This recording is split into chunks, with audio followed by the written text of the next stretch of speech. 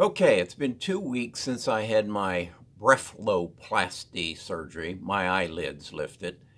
And I wanted to give you kind of a, a, rundown on how it went and then give you a reveal as to what the results all looked like. This is a picture that was taken actually in the uh, preparation room. And uh, Dr. Sarah Jacobs came in and she pretty much kind of mapped my eyelids to show her where the where she was going to make the incisions to get the results that she wanted. Something I thought was interesting as well is she put her initials above each one of my my eyebrows and I guess that was to make sure that uh, I didn't end up in the wrong operating room. The operation took about 20 minutes. It was painless because I was totally knocked out. I actually had a choice of whether to uh, take anesthesia or just have a local anesthetic, and I would have been awake uh, during the process. I chose not to do that, um, and I'm glad I did. I felt nothing. In fact, I woke up as um, they were basically finishing up and getting me ready to, to roll out. Um, this is a picture then of what I looked li at like in the recovery room. As you can see, I uh, called it my Rocky picture, where Rocky comes back to the corner and says, cut me, Mick, I can't see a thing. I was pretty swollen up, and uh, the stitches were pretty visible, and it, went, but I, but I came home, uh, I was pretty well knocked out, not so much from the operation, but more from the anesthesia, and spent uh, all day Friday in bed got up Saturday um, and uh, started the procedure, and it basically was.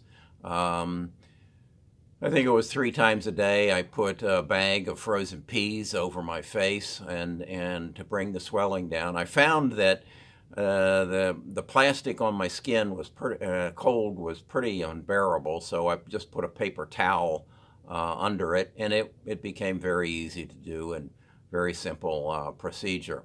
So then the following Wednesday, uh, I actually went back to um, Dr. Jordan and she looked at it and said, okay, now switch from the the frozen peas to a hot washcloth. And uh, what I ended up doing was wetting a washcloth and putting it in the microwave for about 20 seconds and then for five minutes uh, putting it on my eyes to, to bring the swelling down. So that was, um, well, let's see, Friday through Wednesday. And now we're at the second Friday after. And here's basically what they look like. Um, I think I just watched a video that I did uh, on January the 1st about 5G, and it was really kind of shocking to me, particularly this eye, how much, how you couldn't see my eyeballs. Um, and granted, it was outside, and there was a little bit of uh, sunlight, but uh, I, my eyes were just down to a, a, smither of a crack. And so the only thing I see now, I, I can't see the stitches, um, or they say there's a pink line up there. I guess I can see that. Um, I've still got some swelling here and I've always had some swelling there. But for that, I'm I'm doing the washcloth, um, and I, will do that for probably another week, and then I think I'm pretty well done with it. As far as effects, um, while I was doing the peas, I was putting a salve up here.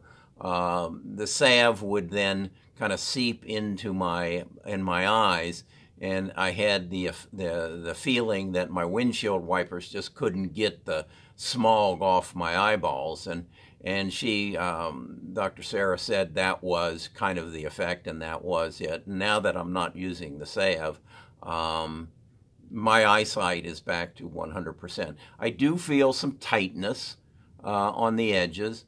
Um, and in the mornings when I wake up, my eyes feel kind of grimy and the the warm washcloth is really very refreshing and, and very wanted. So um, that's kind of how it's going. Uh, I'm very pleased with it. Uh, my son asked me why I didn't have the underside done as well. Um, it, it, it wasn't important to me. Uh, secondly, it wasn't going to be paid for by by my insurance. Uh, the whole operation, as I understand it, cost about $2,500. My insurance picked up all but 250, which was my basically my deductible. So, or copay, I guess it is. So I'm pleased with it. Um, I think you can see my eyes a lot better, and as I look back on some of the videos I've done, and that and and I, last night I uh, I had to be out on a rainy night in the um, in the dark, and it made driving in the uh, in in the in those circumstances much easier. I felt much safer. Um, I wasn't as intimidated, if you would, by some of the the headlights that were coming at me. Um, and I and my I feel my peripheral vision has improved substantially. So that's the status on my eyelid surgery. Um, I'd recommend it highly. I'd recommend uh, Dr. Jacobs at uh, Callahan Clinic. If you're in the Birmingham area, uh, look her up. Uh, you can find a very nice video uh, that I, I showed in the first video I did, and it's also on on UAB's uh, website. So that's my surgery. It's I was telling someone in my yoga class today it's only the second time that I've been cut on. The first time was for a vasectomy, and uh, that was uh, a total different situation. So anyway, um, eyelid surgery. Won't be talking about it anymore. You watch the eyeballs and you tell me if uh, if it is. And in the comments, if you've had any contrary experience or better experience, um, let's talk about it so other people, if they're faced with this kind of decision, they can make an informed decision. Thank you.